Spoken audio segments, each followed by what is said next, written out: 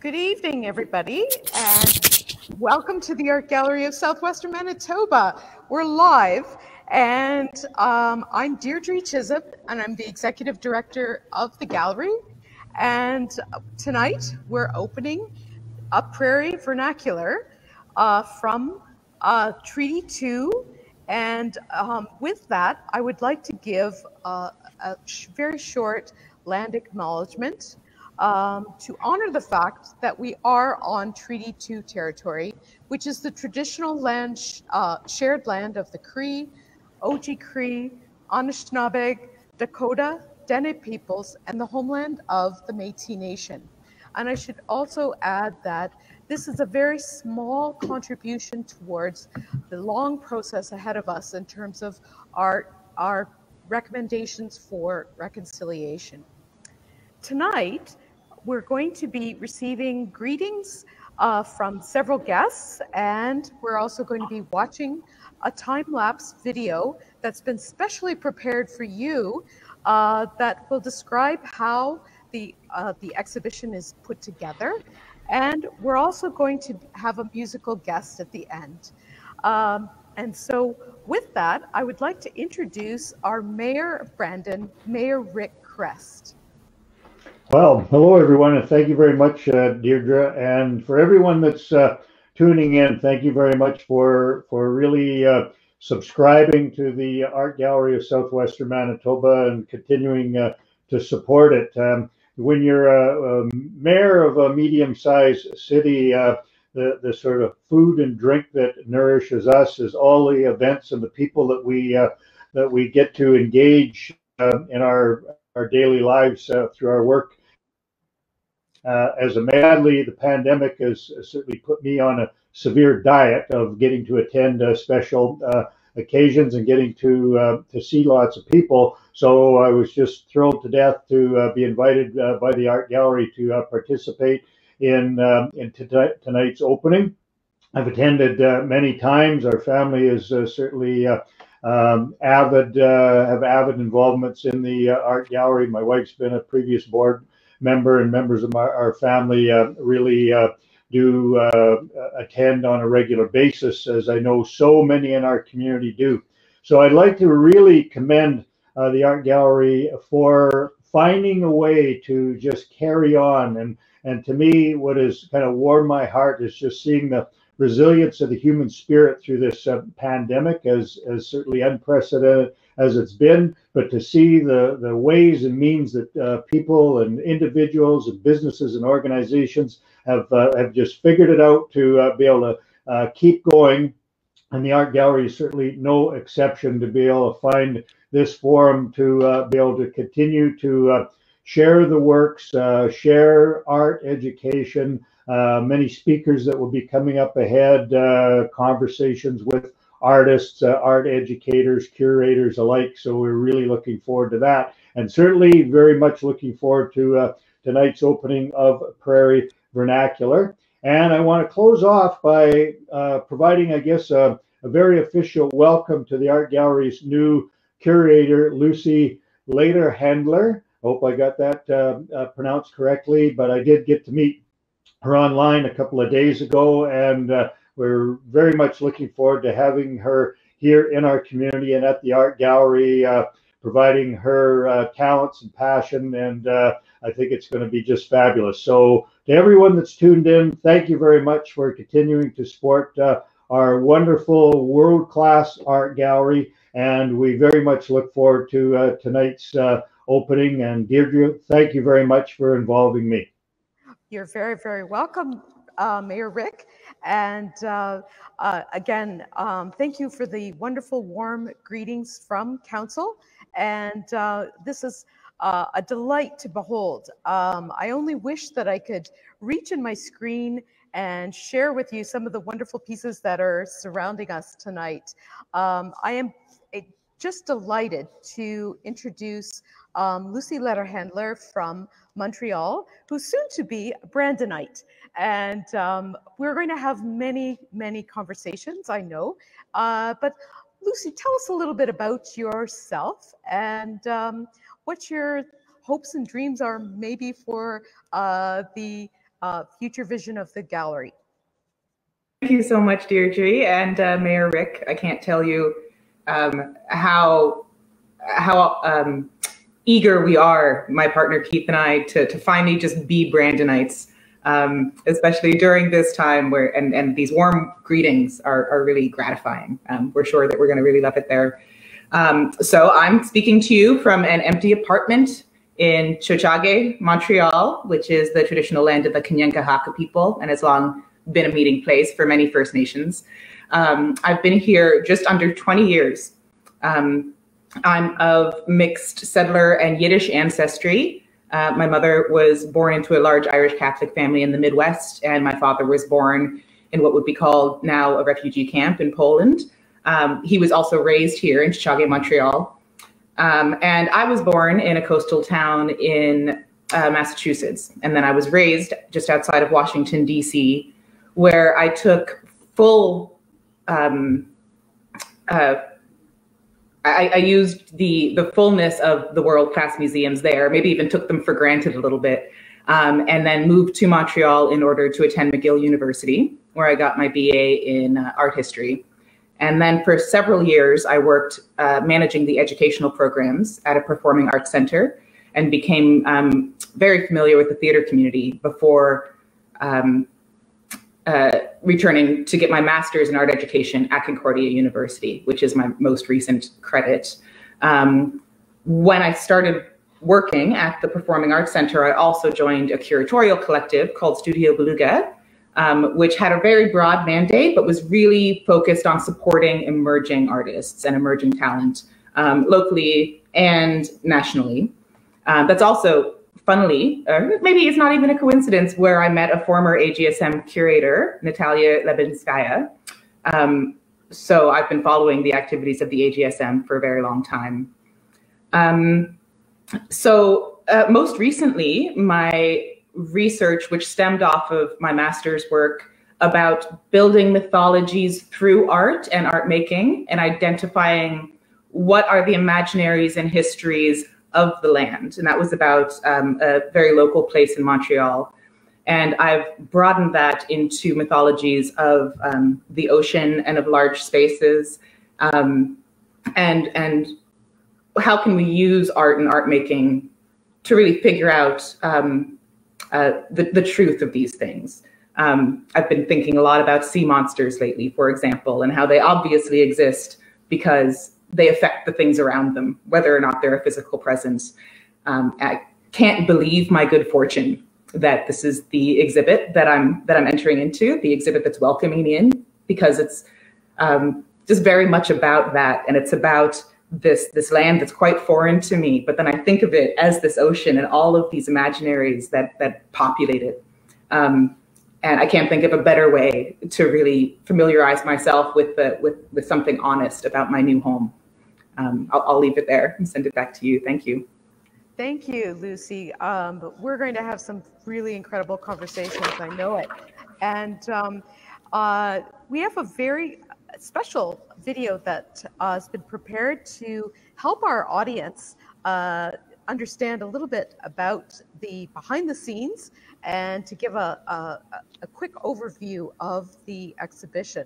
So with that, I'm going to call upon Anna to play the uh, our first video.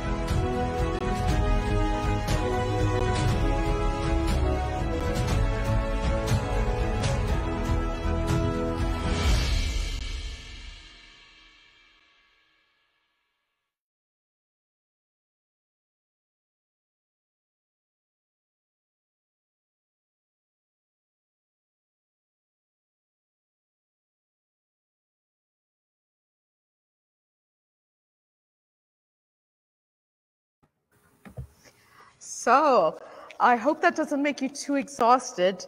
Um, but um, it's a, uh, it was a, a spectacular effort um, with our installation team, and uh, um, there's in, so many thank yous that I have to make. I shouldn't be doing that now. I just wondered, Lucie. Um, I know that uh, you've only been able to look at some of the images in the exhibition that are small, two inch by two inch JPEGs. Are there any works that uh, stand out to you, and or are there any works that are you looking forward to seeing in person? I'm obviously looking forward to seeing the videos because I haven't been able to see any of the video work. Um, and uh, it's really fun to see all of this work with human beings standing next to them because I had no sense of the scale of the, of the sculptural pieces, especially. Um, but the, the one that kept, uh, I don't know, giving me the excited feeling as I was browsing through was uh, 10 Weddings by Ann Harbuz, um, who was born in Manitoba but spent her life in Saskatchewan and the reason, so um, what really excites me about curating is um, is creating a space where you can hear the whispers of all the different work as you move through a space. And with 10 weddings in particular, I feel like it has an entire conversation happening in one piece that you can read almost like like words on a page. Um, so it's a it's a piece of 10 weddings in her family that took place over 40 years occurring simultaneously. Um, and you can see this, this change from a kind of traditional um, prairies Ukrainian culture into a more modern and urbanized culture. And you can see it on the screen here. It's, um, uh, it's, it's so legible um, and, and you can hear the, the conversations happening between generations and between family members and within the community and between the agriculture and uh, and the um, the infrastructure of, of the village. Um, so I, am really excited to see that in person. And I believe it's about a meter, so it's quite a large piece as well. Yes. Yeah. yeah. And I know that uh, you were really fascinated by some aspects uh, defined by the area of uh, surrealism, and um, in particular, Chris Reed's uh, lovely piece. And um, I don't know if we can, uh, if we've got a screen share of that, uh, but um, the Baba Yaga. Yes. Could you could you just explain a little bit about the mythology of the Baba Yaga? So um, there, was, there was a recent movie that featured this as well, but it's a house that walks on chicken legs and devours children. Um, and it's uh, it's from the Urals, um, in, in this case specifically Ukrainian. Um, and what I love, it's, it's so funny and it's so horrific. Um, but I love how you, you can really um, this is what interests me so much about these these imaginaries, these these mythologies, is that you can just bring them with you without taking up any room in your suitcase. You know, as you immigrate across across the world, you bring this this little bit of um, of of something that needed to be expressed. You know, and you don't have to reinvent it. You, you can just bring it really literally with you. And the fact that it's so funny, I think, makes it really engaging. Um, uh, and like sea monsters, I think that uh, whether or not she's real, she's real. You know, um, yeah. uh, I think that's that's uh, it, has got its own charm. Um, I also found a work in the exhibition that I thought really responded to your interest in prairie sea monsters, and um, I'm hoping I can do this properly. Um, let's. And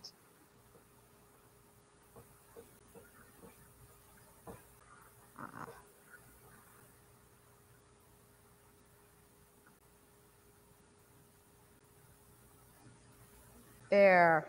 Yeah. Um, its its teeth are made of little crayon tips, and you know, like a lot of folk art, it's just made from whatever is uh, surrounding, um, and it has this kind of charm, as kind of like a mud puppy, and yet it's it's got its own little bit of terror to um, add to that. And um, when I saw this, I thought this is this sort of responds to the prairie sea monster element that uh, you mentioned yesterday, mm-hmm. and I thought, or the day before, and I thought, oh, you know, it, it just kind of looks up, it wants to be petted, and it just seems to have uh, a life of its own as well. Yeah. And I know that we also talked a little bit about sort of the idea that, um, you know, and I noticed that in the curator talk, they avoid using the term outside art. And that is because they were looking for a term that was more inclusive. And that led to the title of, you know, vernacular uh, instead of trying to create um, defined areas. They wanted to focus on the art and the artists. So they stuck to the term vernacular. But also, I was really kind of pleasantly surprised that while the curators were researching this exhibition, um, the late uh, Cliff Eyland from Winnipeg sent them a copy of a folk art exhibition that he did when he was in Nova Scotia. That it was uh, entitled The Vernacular, and he had urged them to use the term vernacular instead of uh, trying to define it by simply folk art or um, outsider art in uh, ways that it is identified in, in uh, maybe the commercial realm. So I thought that was really kind of interesting that there was another Manitoba influence that uh, is felt through the uh, process of, of curating as well. Um, there was one image also that I, I mentioned yesterday that uh, I was particularly attracted to, um, and that was the work of Heather Benning, uh, who's in Swift Current, and that there's two video pieces, and you would not ordinarily, uh, you know, identify video art as being part of what we identify as folk art, but it does have a narrative context. And in this case, the two works that are video related in the exhibition are, are uh, related, you know, quite strongly to uh, contemporary narratives, particularly Heather's work, which relates to the loss of the family farm. Um, I'm going to try and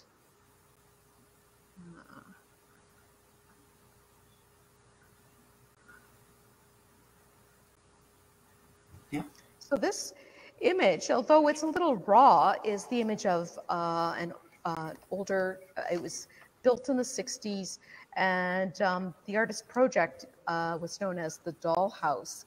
And the agreement that the artist had with the uh, landowners and owners of the property was that after, if the work was to become accessed or vandalized, that they would um, they would end the project. And uh, the artist was able to negotiate with um, the property owner and also with the fire department to do a coordinated burn, which she then created a film about. And it's very rare. I mentioned this earlier that an artist uh, in their lifetime gets to see the birth and death of an artwork. And that has taken on a whole different life form of its own. And uh, this is visible in the exhibition as well. Um, but again, it's more of a lament for the loss of the family farm.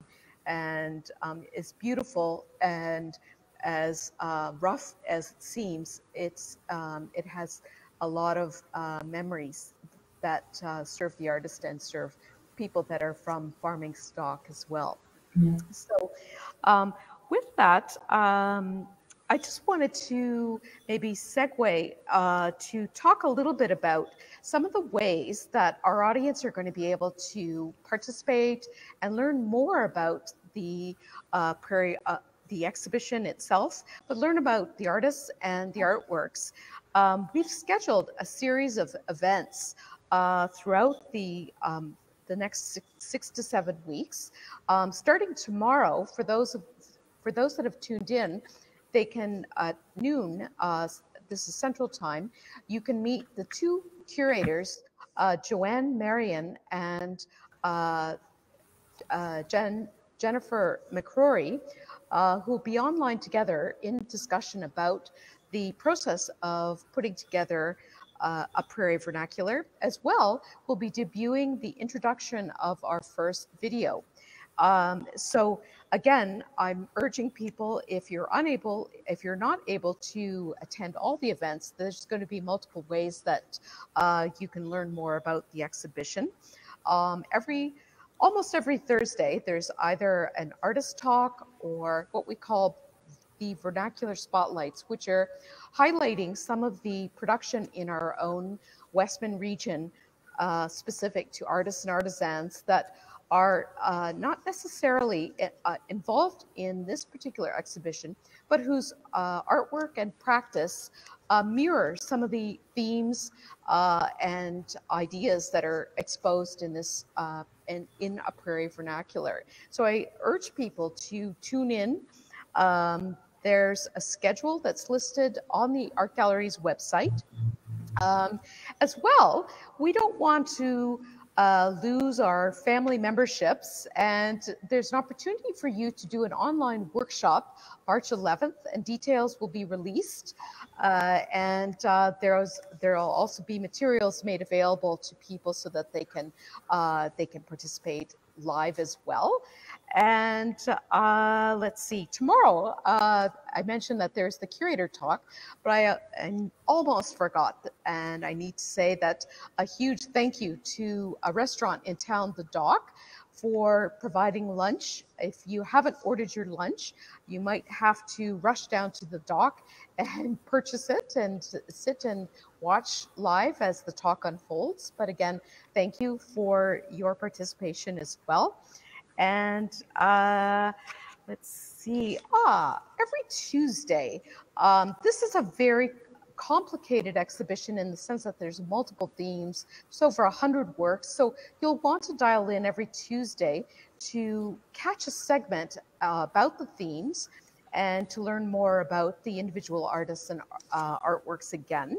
So these have been uh, specially produced as part of the series uh, so that uh, people can enjoy from their homes or enjoy in the classroom uh, or um, enjoy in the you know in some manner that uh, they can participate and see and learn more about something that is really and truly um, unique to uh, prairie lifestyle.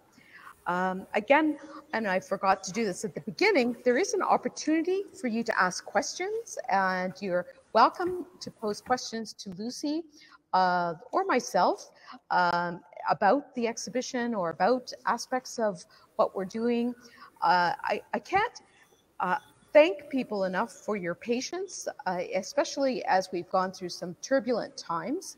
And I will not look into my crystal ball and predict when uh, we'll be open physically to the public because we want to uh, keep each other as safe as possible. And we also want to keep the message positive that uh, there will be a, uh, there will be a return to the gallery, but at uh, at this time, I think it would it's just not possible to say when.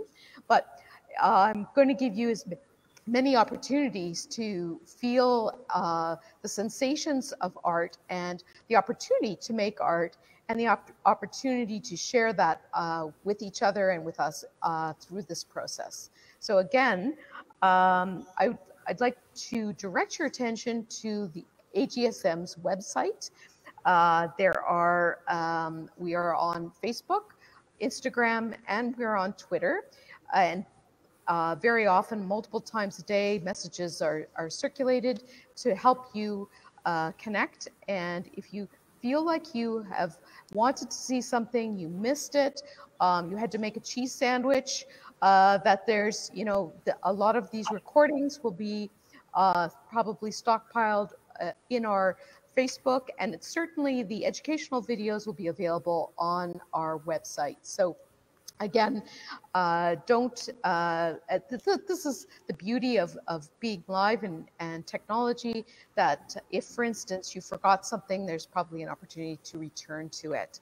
So again, I'd like to thank everyone for joining us tonight. Um, and I'm, I'm looking forward to your feedback.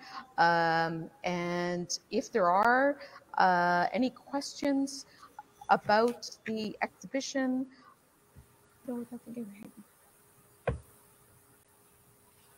Ah.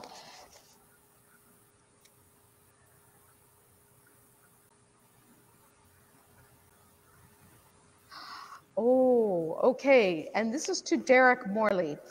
Um, the, the exhibition originated in Moose Jaw, and it was the collaboration of the two curators, uh, Jennifer McRorie and uh, Joanne Marion. And I think uh, um, the, I think the, the research probably started two or three years ago, and it was building on, I think, the previous work of Nancy Tousley, who's located, she's a, a retired curator, but I do believe she's active, uh, and she had put together an exhibition about uh, folk art in particular. I remember seeing it when I was in Ontario at the McMichael, and uh, it was, you know, there was there were segments from all across Canada that included uh, Quebec and Nova Scotia as well. So very comprehensive exhibition. So um, I think they uh, recognize that, particularly in Saskatchewan, where uh, there are many artists like Joe Fafard, Vic Cicansky, David Thauberger, who have, um, you know, their own practice has evolved from uh, working and it's been inspired by the folk art in uh, their regions. So, you know, there's again, I guess there's a certain assessment uh, that's taken place, and I think they found uh, that the I've seen that you know there's a huge growth in the collections, the public collections in various institutions uh, across the prairies as well. So, you know, I take no credit for this uh, exhibition. I, all, the, you know, I love folk art. I've had the opportunity to work with collectors in Ontario, and I have to say that, you know, it puts a smile on my face uh, to think about the, the fun times that I've had and um, the accessibility that uh, folk art uh, brings uh, into our, our lives. And I call it folk art, but I mean, you know, contemporary narratives are um, complicated and, you know, the expressions are varied. So, um, but thank you for your question, Derek.